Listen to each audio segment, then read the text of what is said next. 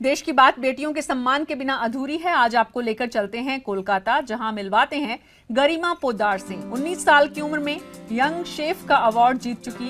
London के international institute of hotel management, यानी IIHM के ज़रिए कराए गए कंपटीशन में दुनिया भर की 3000 स्कूल के तीस हज़ार स्टूडेंट्स ने हिस्सा लिया था, जिसमें कुकिंग की कंपटीशन थी और उसमें गरिमा ने पहली जगह बनाई। आज ये दूसरे स्टूडेंट्स को भी ये सिखा रही हैं। भारतीय किचन के स्वाद को दुनिया में पहुंचाना चाहती हैं। ये देश का स्वाभिमान है और हमें इन पर अभिमान है।